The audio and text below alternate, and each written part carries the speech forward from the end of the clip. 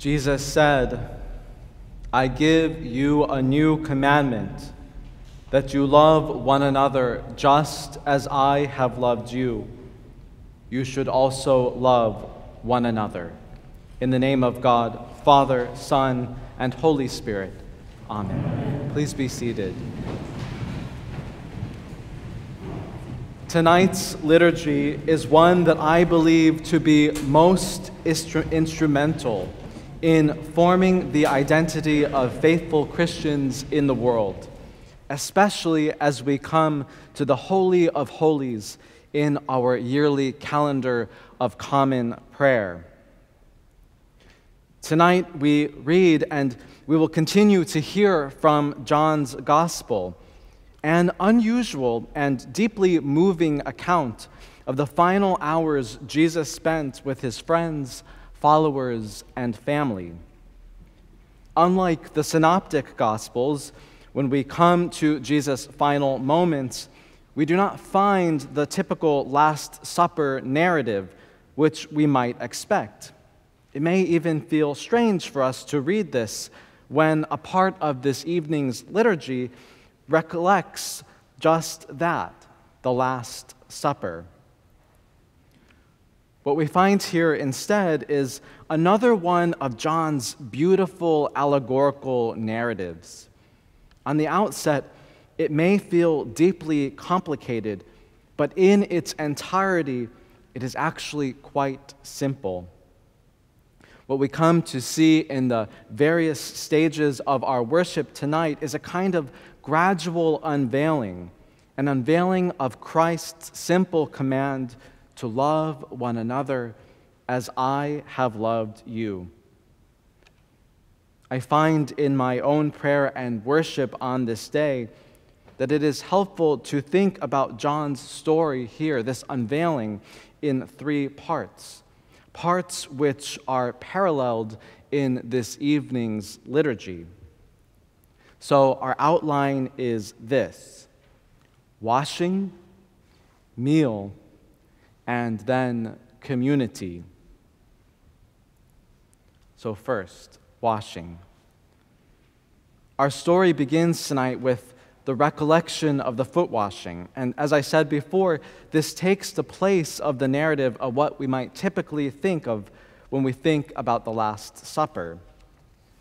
What we have, though, when we think of what Jesus does in this moment, is at its core the same model of self offering and service displayed in deeper meaning. Jesus is giving himself up in service and devotion to and for his disciples as he washes their feet. In the place of words which proclaim, This is my body, this is my blood, we find actions actions which model directly for the disciples the kind of self giving, self offering servant ministry to which Jesus is calling them. This action is what Jesus ultimately takes up on the cross. I find that it's worth taking a brief moment also to notice Peter's initial refusal as well and Jesus' stern rebuke. Jesus warns Peter what is at stake if he does not take part in this washing.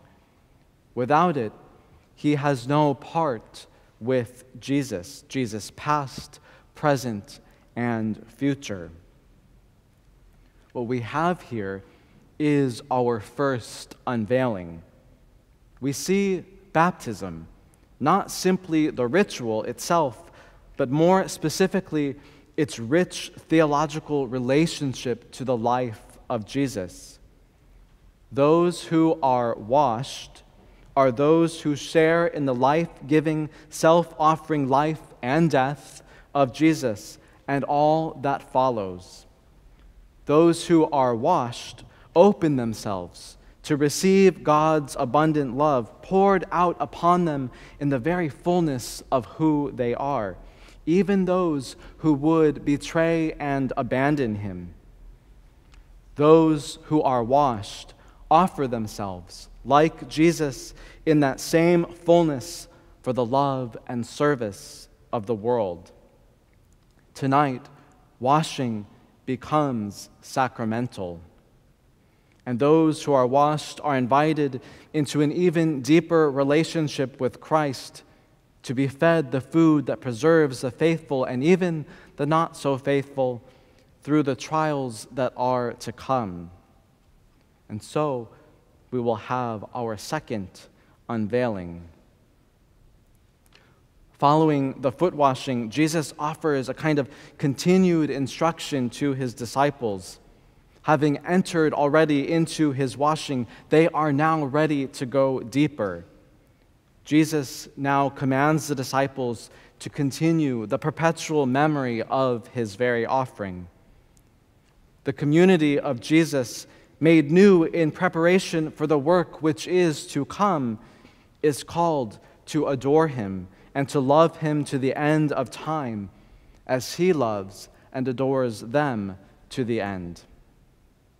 John does not describe the meal that was taking place. We can assume that there is one because Jesus was at table with his friends, nor does John elaborate on the meal's spiritual and ritual significance, most likely because his audience already knows this. There is no institution of the Eucharist here because in John's community, it is likely that this meaning has already been received, unlike some of the earlier synoptic gospel communities, which are not yet within a more or less established early church. However, Despite its lack of mention, that meal is still significant. And what is unveiled for us is a deeper call and invitation for the gathered community, that's us, to continue following and serving Christ among us, now present in the world in the Eucharist, but nonetheless offering himself up in fullness here for our lives of discipleship.